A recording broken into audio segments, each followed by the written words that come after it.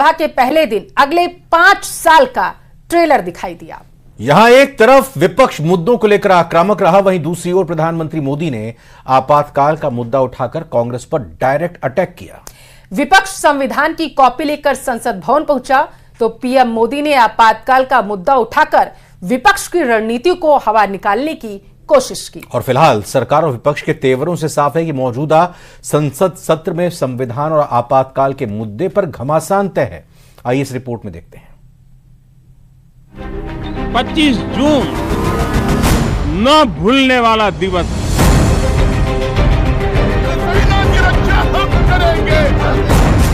अठारहवीं लोकसभा के पहले दिन सदन में संग्राम।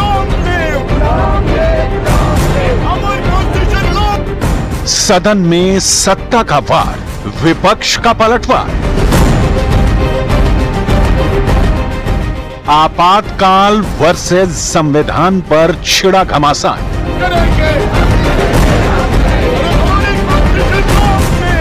अठारहवीं लोकसभा के पहले दिन संसद में जमकर संग्राम हुआ। प्रधानमंत्री नरेंद्र मोदी ने आपातकाल का ज़िक्र करके विपक्ष पर हमला बोला तो विपक्ष संविधान के मुद्दे पर मुखर दिखा।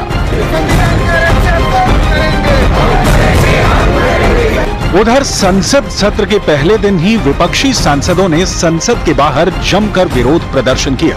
इंडिया गठबंधन के सांसदों ने सदन के बाहर मार्च निकाला। इस दौरान सांसदों के हाथ में संविधान की कॉपी भी थी। इस दौरान सोनिया गांधी, राहुल गांधी और मल्लिकार्जुन खड़गे भी मौजूद रहे। उधर अखिलेश यादव के साथ समाजवादी पार्टी के सांसद भी संविधान की कॉपी लेकर प्रदर्शन करते दिखे।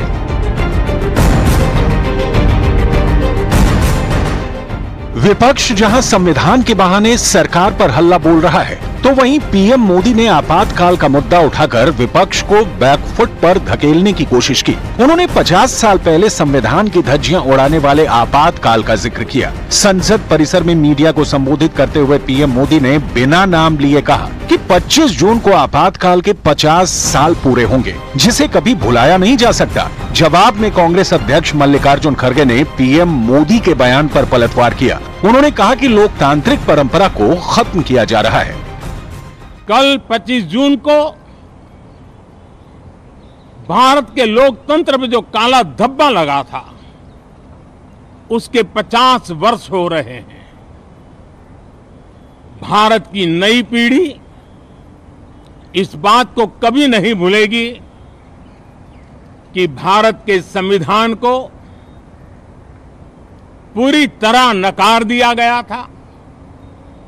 संविधान के लीरे लीरा उड़ा दिए गए थे। देश को जेल खाना बना दिया गया था। लोकतंत्र को पूरी तरह दबोच दिया गया था। इमरजेंसी के ये पचास साल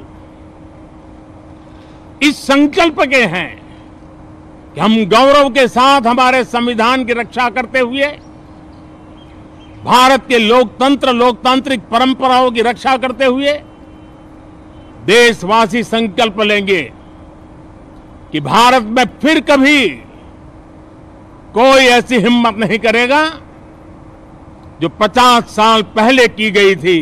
सौ बार यही बात बोलेंगे।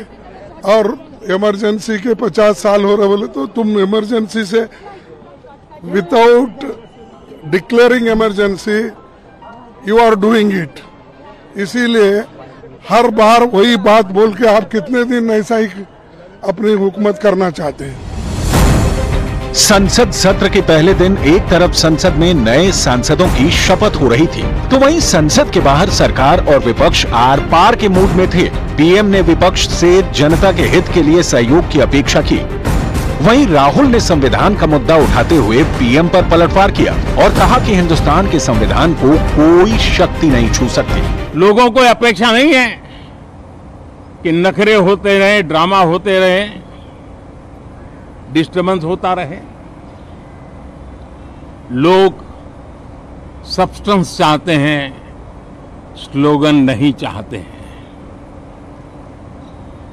देश को एक अच्छे विपक्ष की आवश्यकता है। जो जो आक्रमण प्रधानमंत्री जी अमित शाह जी कॉन्स्टिट्यूशन पर संविधान पे कर रहे हैं, वो हमारे लिए एक्सेप्टेबल नहीं है, वो हम होने नहीं देंगे। इसीलिए हमने कॉन्स्टिट्यूशन ओथ लेते हुए हमने कॉन्स्टिट्यूशन पकड़ा था। हिंदुस्तान के कॉन्स्टिट्यूशन को कोई शक्ति नहीं छू सकती है। 18वीं लोकसभा में विपक्ष मज़बूत नज़र आ रहा है। विपक्षी दलों के इंडिया अलायंस के पास दो सीटें हैं। और जिस तरह से विपक्ष ने पहले दिन अपने तेवर दिखाए हैं, उससे यही लग रहा है कि सदन में विपक्ष बनाम सत्ता पक्ष की सियासी जंग रोचक होने वाली है।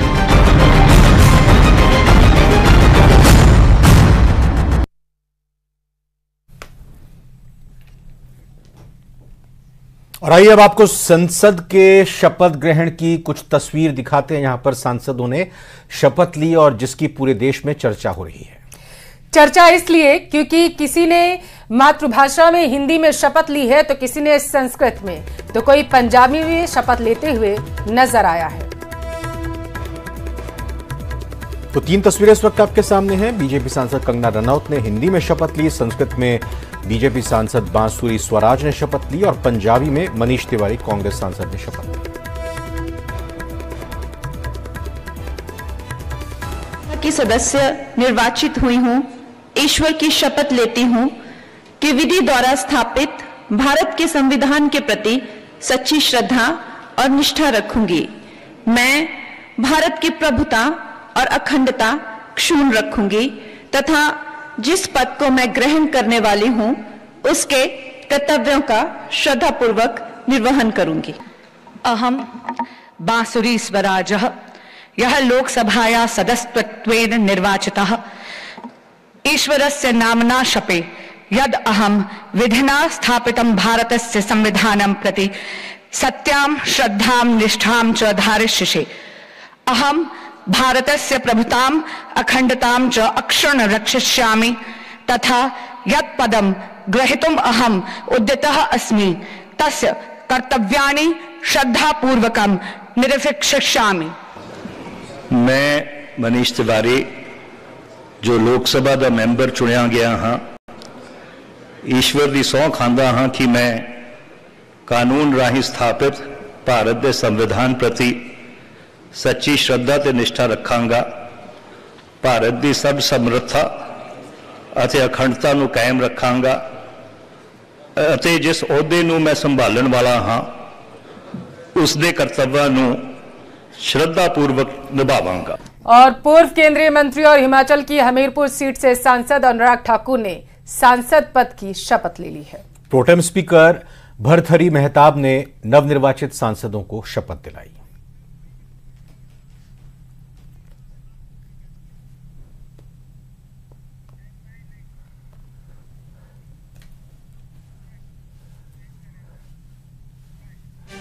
बीजेपी आईटी सेल के हेड अमित मालवीय ने इंडिया गठबंधन पर निशाना साधा है। अमित मालवीय ने मोदी सरकार के तीसरे कार्यकाल के पहले पंद्रह दिनों की तुलना कांग्रेस शासित राज्यों से की है।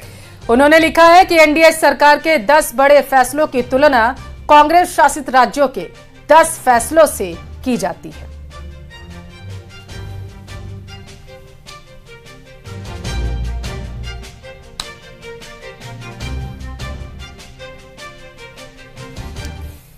Niet p...